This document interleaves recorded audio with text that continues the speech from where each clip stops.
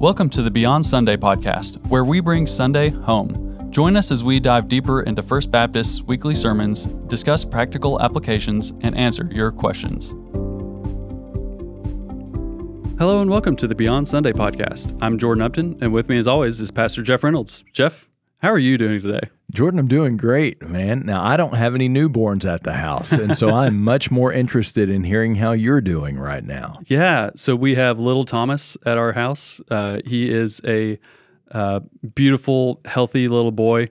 Um, always smiling. Always uh, his his eyes have been open almost since day one, and he's just always looking around, seeing who's there, and you know he'll give it a little smile, you know, a little toothless grin. I so, love it.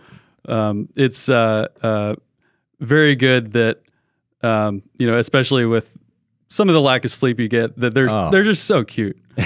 they they have to be. Yeah. Because yeah, you're right. Those those first few weeks I can recall um, not wishing time away, but uh, looking forward to to calmer times. Yep, yep, absolutely. And thank God he's healthy. Taylor's healthy. Our our little boy Isaac, uh, our firstborn, is the most affectionate little two year old you could ever ask for. I love that. So I'm just almost tearing up here talking about it. I'm just so thankful for for my whole family. And, well, you uh, have a beautiful family. The Lord has blessed you, and you and Taylor are building a household upon the solid rock of Jesus Christ. And uh, that's what we talked about and prayed for. That's what you all uh, wanted to do, and now it's happening and it's really beautiful to see from the outside looking in. So God bless you, man. That's so exciting. Uh, two boys, Isaac and Thomas. Yeah. And uh, who knows how the Lord is going to bless the world through those young men. It's going to be great. Amen. And listeners, thank you for uh, all of your prayers. Uh, we really felt it, and we're really appreciative of the uh, care that you all had for us. And uh, thank you for listening to the Sabbath episodes. We were excited to make those and um, uh, put that content out for you. So thank you for listening to those. And we're excited to be here today, back in the booth, back in yeah. the saddle. Well, let me tell you, as a listener to the Sabbath podcast, you did a great job. I mean, it was really cool. And um, it was really neat how you kind of talked about the theory, the biblical theory behind the practice of Shabbat, and then what that looks like in your household and why it matters to you. And I really appreciate how you shared that not in some sort of legalistic way, but rather in a way that that just communicated, "Hey, we found this beneficial in our lives." And um, you know, I think that for for all of us, particularly in an American context. Um, we tend to run wide open 24 7 and wonder why we're frazzled. Um, God designed us to have a Sabbath, and uh, the way you guys practice Shabbat is just a really beautiful thing. Um, doing so, as you said, in honor of the Lord Jesus Christ, uh, just as Jesus practiced Shabbat. And so, as a listener to those podcasts, thank you for doing that, and thank you for sharing that content. That was really, really good and really helpful. Really helpful. Thank you. Yeah, thank you for saying that. And and again, uh, thank you, Jeff. Thank you, listeners, for listening. Uh, it was a blessing making it, and it was a blessing uh, uh, thinking about it and writing it out. So yes, sir. Yeah. So we have a lot going on here at First Baptist. Uh, and most of the a lot is VBS. VBS so. week. It is wonderful. Uh, I believe we have a record number of children. Wow. Uh, who are a part of it this year, and uh, phenomenal number of volunteers. I don't know any any concrete numbers to share um, because they were kind of in flux a little bit last night. We're recording this on Monday, so we have had one night of VBS, and it was a phenomenal night. I'm so thankful for Lauren Parrish, uh, our minister of children here at First Baptist Church. She does such a wonderful job, and she has built a team of volunteers that are second to none. Uh, our narthex has been transformed into a marketplace, and, and, and the artistic and creative abilities of our folks here are just unbelievable to me.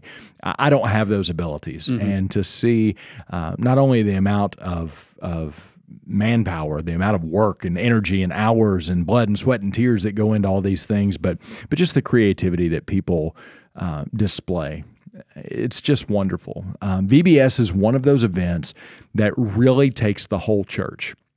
And so it's not just the children's ministry, but it's all of us coming together, using what God has given us and employing those gifts to bless children and families in our community. And it's just so beautiful. So, um, thank you to everyone who has done anything or is doing anything uh, to be a part of Vacation Bible School. What a blessing. And who knows what God is going to do with your investment. So, thank you for that. Yeah. Yeah. So, the theme for this year's VBS is Babylon. So it's talking about Daniel and Shadrach, Meshach, and Abednego, and some of the themes of uh, the, the exile in Babylon. So I, I, appreciate Jeff that your sermon series is going through the book of Daniel and going through um, some of these stories that they'll be talking about, and you know we'll be talking about some of the things here on this podcast that they're talking about this week during VBS. That's right. So the the passage from this weekend from this Sunday was Daniel three one through thirty. I'm not going to read the whole passage. I'm just going to sum it up real quick. So essentially, King Nebuchadnezzar of Babylon made a golden idol for his people to worship. Even though there was a threat of death, there were several exiled Jews who refused to bow to it. So these were Hananiah, Mishael, and Azariah, who are better known as Shadrach, Meshach, and Abednego. So they stood firm under pressure and did not bow, uh, even when they were giving another opportunity before the king. So because of that, they were thrown into the furnace, uh, blazing furnace, but God brought them out, and they were not even, they didn't even smell of fire uh, miraculously. And so Nebuchadnezzar publicly recognized the might and the power of the God of Israel. So, Jeff, in talking about that, you said that um, sometimes we have to be delivered not from the fire, but through the fire. So that kind of shapes the questions that I wanted to ask for today. So the, the kids are learning these stories about Daniel and Shadrach, Meshach, and Abednego um, living out their witness and testimony during the exile in the Babylonian era. So, what are some of the big lessons from this Babylonian exile, from the time that the Jewish people were exiled from the land of Israel to the land of Babylon? Well, we know that the exile was a result of sin, and that the reason that the Babylonian exile happened um, was because God's people continually turned away from him. And so this was an act of judgment upon his people, an act of discipline. Um, we're encouraged by the words of Jeremiah in Jeremiah 29, where God is speaking to the exiled people. And he says, I know the plans that I have for you, declares the Lord plans to prosper you and not to harm you, plans to give you hope in a future. Um, but settle in. You're going to be here for a while. And so God knows what he's doing. God is never capricious. He's never he's never just trying something to see how it works. God fully understands everything that he's doing. Um, but really, what you have here is this wave of young men taken into the service of King Nebuchadnezzar, uh, really about 20 years before the taking of Jerusalem. So Daniel and and this group of people go. Uh, they're taken in about 605 BC, and then Jerusalem would fall in 586 BC. And remember, BC counts down. Mm-hmm. So um, you're talking about a couple of decades before the fall of Jerusalem, but. Um, what you see with Daniel, Hananiah, Mishael, and Azariah is a commitment to living out their faith in an alien culture to which they have been taken against their will, however, under the guidance of Almighty God. God allowed this to happen. In fact, God is the one who caused this to happen as an act of judgment upon his people. But they still had a responsibility to stand firm. They had a responsibility to serve the God of Abraham, Isaac, and Jacob and to do so faithfully, regardless of their circumstances. And so that's what we see. We see in Daniel chapter 1, for example, Daniel resolving not to defile himself. We see in Daniel chapter 2 when Daniel comes to, to interpret the dream, to tell Nebuchadnezzar what his dream is and what it means. Um, Daniel is giving all the glory to Almighty God for that interpretation. He's saying, I can't tell you anything, but God knows all things. And so um, and then again in chapter three, we see Shadrach, Meshach, and Abednego refusing to transgress the first commandment. When God said, I am the Lord your God who brought you up out of the land of Egypt, you shall have no other gods before me. Well, so that means, and, and then the second commandment is like it don't make for yourself an idol or graven image and worship that. Um, they refuse to transgress the first or second commandments because God is jealous and, and God commands us not to do that. And so what we see is that they are standing firm in their faith, saying, and, and, and this is not original to me. Some other preacher said this. If I knew who the preacher was, I would tell you, but this is one of those things that has kind of been passed down from preacher to preacher over the years. But mm-hmm. but the question is this: Do I do what the king wants and hope that God understands, or do I do what God wants and hope the king understands? And so that's really the question that they are faced with repeatedly. Do I do what God has commanded, regardless of what consequence it may bring, uh, or do I bend in my faith and bow the knee to this king who is commanding me to transgress my faith and to transgress my God? Yeah, and as I was thinking about these questions and these sermons, it, it struck me that you know, even this time during exile is different from, you know, obviously when they're in the kingdom and there right. is a kingdom of Israel or even a kingdom of Israel and a kingdom of Judah. Right. Um, and that's different from, you know, the time of the judges in some ways, but that's, that's right. even, you know, different from being in slavery in Egypt and then before with Abraham. It's like you've gone through all of those steps as a people and now that's all been taken away. Yeah. It's, it's like, you're almost back to square one, but maybe you're even backward because you know what you had was taken away. Yeah. Um, now, of course, they had the promises that you know these terrible things would happen, the curse would come upon them with disobedience, but then that you know they would be restored. And Jeremiah is saying that you know even before it happens. Right. Um, but one of the things that I kept circling back to was this concept from Rabbi Meir Soloveitchik, who talked about how the the term Hebrew um, you know, we use it a lot, and what it means is crossed over. Um, so it's like you know, someone crosses over a river or something yeah. like that. So he was applying it to the Exodus because when Moses goes and talks to Pharaoh uh, about the Exodus, he says, you know, the Lord tell, told me, you know, to tell you, let my people go. Right. And Pharaoh's like, I don't know who you're talking about. So then he circles back and he's like, oh, the God of the Hebrews told me to say this. Yeah. So he found great meaning in that because what Moses is basically saying is like the God who travels with a people where they go hmm. is saying to do this. Hmm. So instead of the, uh, you know, the Egyptian pantheon, which is you know uber powerful within Egypt and right. guards the land of Egypt. Sure. Like we have a God who came with us from across a river, mm. you know, and is with us now in our slavery.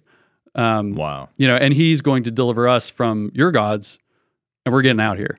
Well, and all the plagues, uh, if you study the plagues, they are individual. They are yeah. individual uh, plagues against certain Egyptian gods, and it's it's really kind of cool to see how God does that. Uh, he's he uh, God doesn't miss the details, no. and I love that about him. Absolutely.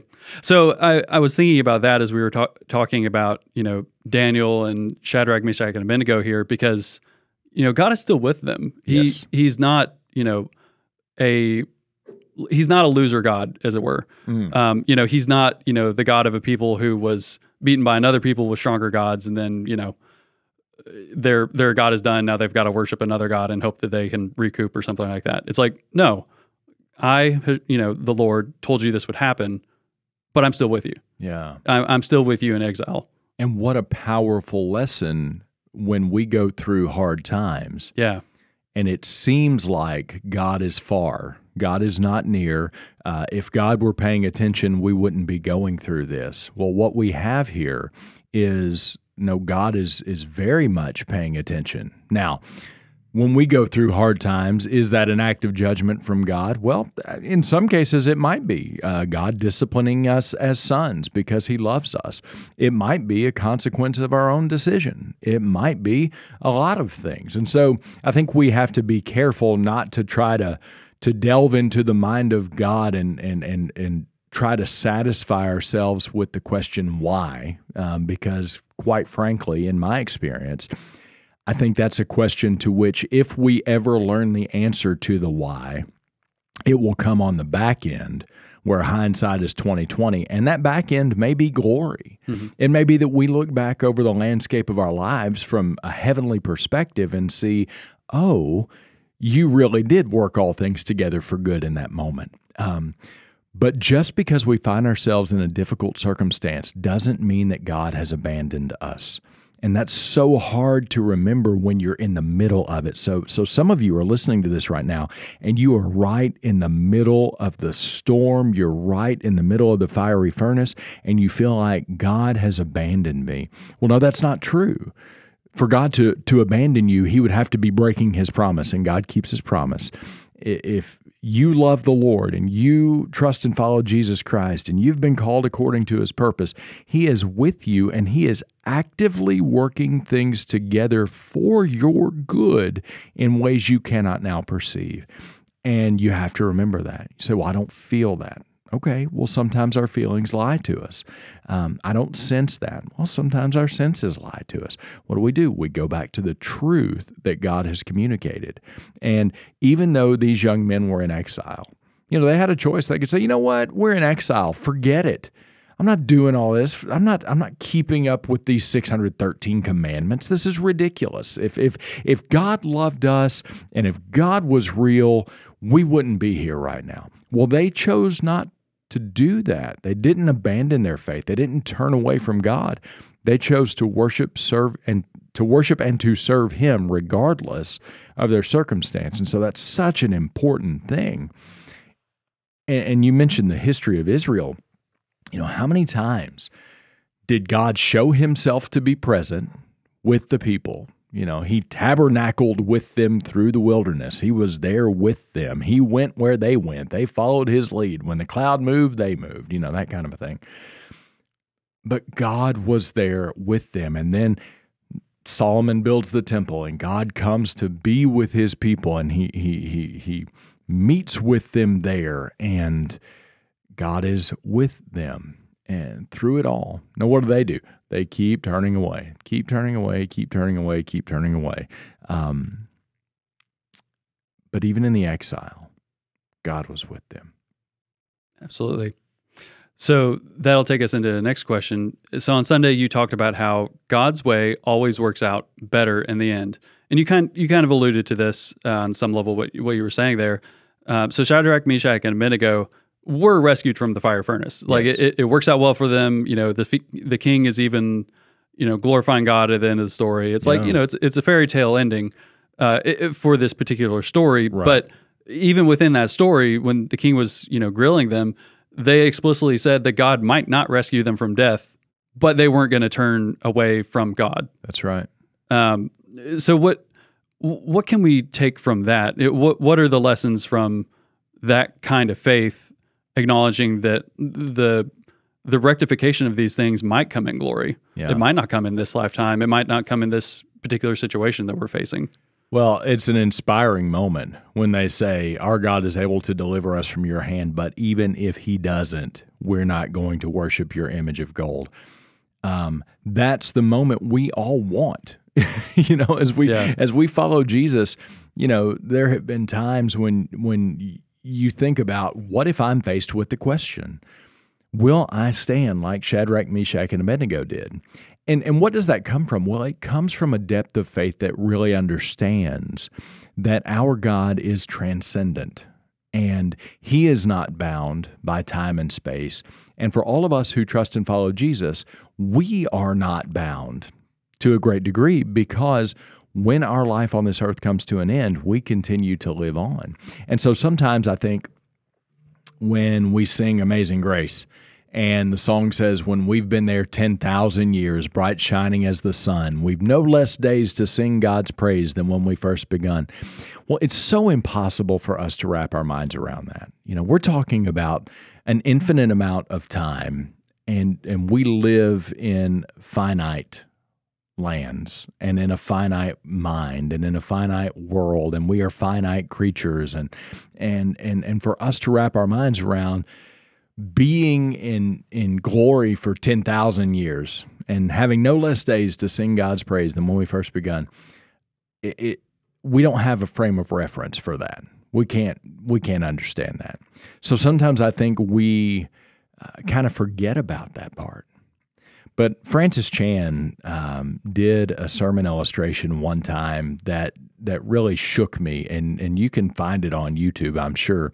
Um, if you look up Francis Chan rope illustration, and what he did was he had a big long piece of white rope, And it was so long that I think it went all the way around the sanctuary that they were in. I mean, it's just so long. And he was holding the beginning of the rope, and maybe an inch of it was painted red.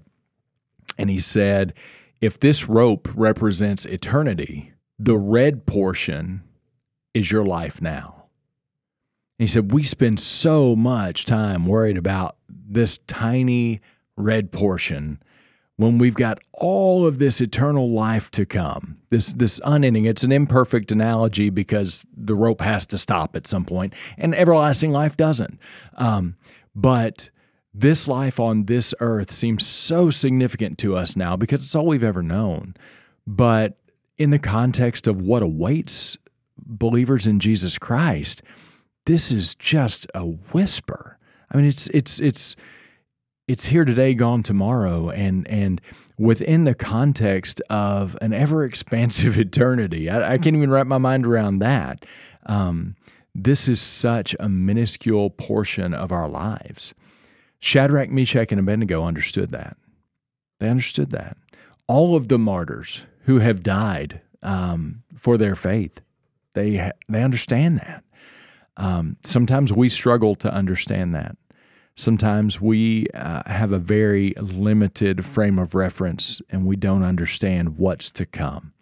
And I, I think that we do that to our own mental and emotional harm. Um, but if we really understood the glory that is to be revealed in us, that will so far eclipse any suffering we've ever had to endure, man, we would have a different way, frame of reference uh, for living this life. And so Shadrach, Meshach, and Abednego understood that and said, look, even if we die, it's okay because God still got us.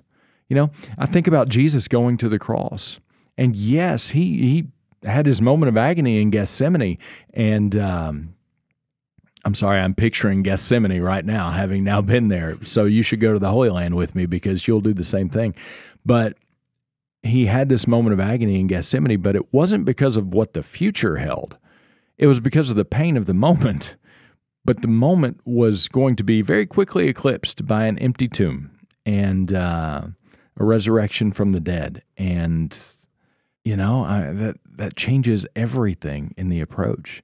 Yeah, I'm going to, I'm going to, go through pain for a moment, but then the pain goes away and all is well. So it's it's it's a different way of approaching life, but that's the way of approaching life that God's called us to live. Absolutely. So that will take us into today's listener question. That will take us perfectly into today's listener question. Listeners, if you have a question, just go to the link in the show notes or comment on the post below. Jeff, our culture is increasingly secular and anti God. How do we raise our children to be like Shadrach, Meshach, and Abednego, who retained their witness in the face of persecution? Shema Israel, Adonai Eloheinu, Adonai Echad. That's how we do that. And uh, that was a little Hebrew. That was um, Shema. That was the Shema of Deuteronomy chapter 6. So as I turn my Bible over there, what a great question. Um, and the Shema, uh, Deuteronomy chapter 6, beginning with verse 4 Hear, O Israel, the Lord our God, the Lord is one. You shall love the Lord your God with all your heart, and with all your soul, and with all your might. And these words that I command you today shall be on your heart.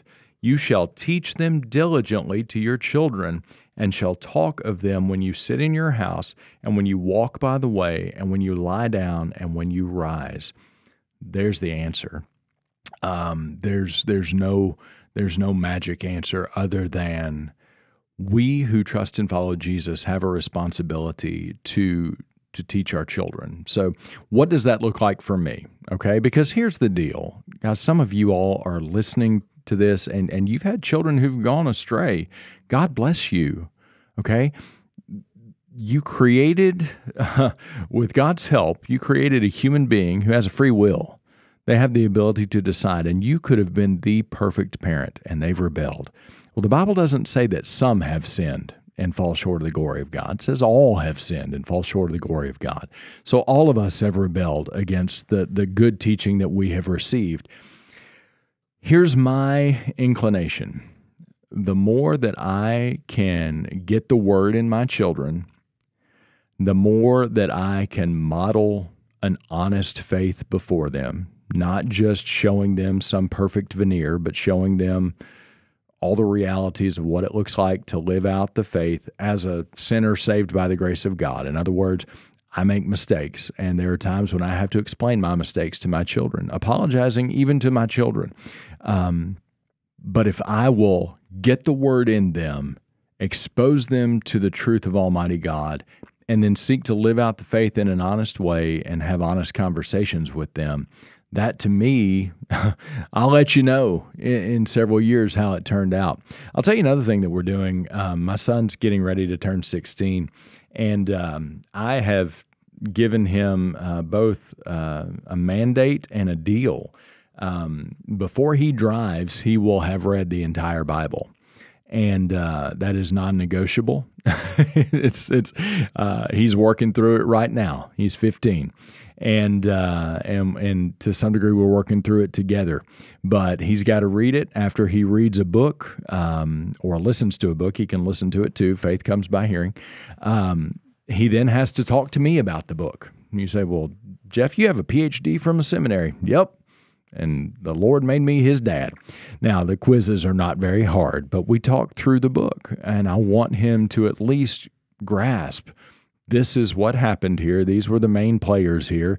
This is how God showed himself to be faithful here. So and, and, then, quite frankly, my son's a multi sport athlete in high school and, and doesn't have a whole lot of free time. So I'm treating it as a job. So I'm, I'm providing remuneration toward the purchase of a car um, for this investment. And uh, here's why. When, when he gets behind that wheel and he pulls out of my driveway, that is a level of freedom that I remember getting at age 16. And, um, I also remember my personal level of stupid at that time. and so, what, what I want to do is at least make sure the word's in there, you know, uh, make sure the seed is planted. And, and I'm so thankful for all of his, you know, Vicki Donaldson, who is his minister of children, and uh, and then now uh, Sapp, who was his youth pastor, and now T.J. Renfro, who's his youth pastor. I'm thankful for every person who in, who was involved. Uh, you, Jordan, uh, as you mentored him in the faith, as he worked for you when you were our director of broadcast and media outreach, and you you were gracious enough to train him on operating a camera, and you you did more than that. You mentored him in the faith, and that that that influence in his life is still there, and I'm very very deeply thankful for that. Um, so I'm very thankful for the people that um, pour into his life we prioritize being at church. You know, my responsibility as a parent is to seek to um, give them the best shot possible. I can't decide for them. Um, I can't make them trust and follow Jesus Christ as adults, um, but I can give them every opportunity to be exposed to the teaching of Jesus, uh, and to the truth of Jesus lived out before them. And so that's why church community is so important. I, mean, I got to tell you, um, coming back out of COVID, just about every church is at least 30% low on in-person attendance. Um, and, and we're, we're about the same. Um, we, uh, our broadcast attendance really exploded, which is awesome and our live stream attendance. Um, we started live streaming in January of 2020. God is sovereign, right? Mm-hmm. I mean, it's just yeah, unbelievable. Um, so that kind of really blew up, but but some of us got used to the habit of of not going and joining physically with the body of Christ on Sunday, uh, and I think to our detriment because there's something to saying we prioritize this in our family. We go, we gather with the saints. Yes, they're imperfect, but we've been given the gift of one another to stir one another toward love and good works. And it's important that we gather with the body of Christ on Sunday mornings. And uh, so I would encourage you if, if, if that's kind of been a habit that's fallen by the wayside for you, uh, make it a priority. Um, you know, we make so many things priorities in our lives that uh, are good things but um, you know, chances are good that uh, statistically, our children aren't going to become professional athletes. Maybe they will, but man, we'll we'll move heaven and earth to make sure they get to their athletic uh, event. Chances are good that they're not going to be the next, you know, great performer uh, making millions of dollars for their ability on their instrument or with their vocal ability but we'll move heaven and earth to get them to their lessons and all that. But but when we treat church as something that's eh, well, you know it's it's not that important then our kids see that. And uh, that's going to shape how they live their lives after they leave our homes. So again no guilt no shame just we're all in this journey together all of us are sinners in need of a savior, and uh, and sometimes God calls us to uh, to turn away from new habits and and embrace the things that that He's called us to be. Yeah, and I'm just thinking back through several of the things you said there. One, I love that you compared going to football practice with going to Sunday school, just in that, you know, this is not just something to check off. It's like going to church, you know, going to uh, Sunday school classes, uh, these things are helping prepare us for eternity and helping us come closer to God. Um, yeah. And I, I, love that you pointed out that um, a lot of it really comes down to individual uh, practice on our parts and, and uh, example on our parts. If yeah. if we're teaching to be repentant and to be forgiving and faithful in the community and faithful to your family, you know, we have to actually do those things uh, individually ourselves. Yeah. Um, and and that you know displays a high level of uh, humility when you can apologize to people who are you gave birth to, right? Yeah, that's right. well, and and and and that's to me that's mentoring. That's you've got to have a, an appropriate degree of transparency. And that doesn't mean we air all our dirty laundry right. for our children, right. you know, that sort of a thing, but it's very important that we're honest because you know kids kids catch they see way more sometimes than we want them to and um and sometimes replicate way more you know. Uh but but i think we've got to be honest because they they they they can sniff out a fake anywhere. I mean, kids are so quick to sniff out a fake. Like, yeah, I heard somebody say, if kids and animals won't go near a person, you should be suspect. Mm. you know, uh, and I think that's good advice. So just we got to be honest. We got to be real with our kids. Yeah, yeah. Jeff, thank you for all of that, and I'm so excited to be back with you. I'm so excited that we're back in action and uh, going into our second year here of this podcast here in August. Yeah, so. this is this is one of my favorite moments every single week. So thank you. And then I get to listen to it. I always listen to it to uh, to hear how good of a job you did and to see how I can get better. So um, it it is uh, it's a wonderful thing. Thank you. This was all your idea, and uh, it's it's turned out to be a pretty great idea. So I appreciate that, man. Absolutely. Can you pray us out for today? Let's pray. Father, we love you and we confess we are in need of you for everything every breath we take, every time our heart beats, every step we take, every bit of that. Um, we confess you are our creator and you are our sustainer, and without you, we can do nothing. But we're thankful that through Christ all things are possible and that we can live out our faith in a, in a sin fallen world in a way that glorifies you and blesses others. And that's what our prayer is. Um, Pray that you would help us to model lives of faith for those you've entrusted to our care, recognizing that they've got to make their own decision uh, and they've got to do their own thing. They will stand before you and give an account of their lives on their own. But Lord, help us to give them every tool, every opportunity to trust and follow you, and help us to live our faith authentically before them in a way that illustrates not only our love for them, but your love for them. Father, we love you. We thank you for the witness of Daniel and Hananiah and Mishael and Azariah. And we thank you that we continue to be instructed by their boldness in the faith 2,600 years later. Thank you, Lord. We pray these things trusting you in Jesus' name. Amen. Amen. Thank you for joining us. If you enjoyed this episode, be sure to subscribe to our channel. To submit a question about Sunday's sermon, the Bible, or walking with Jesus, click the link in the episode description. Our hosts today are Pastor Jeff Reynolds and myself, Jordan Upton. Our engineer is Elliot Beckley, and our editor is Chad Walden.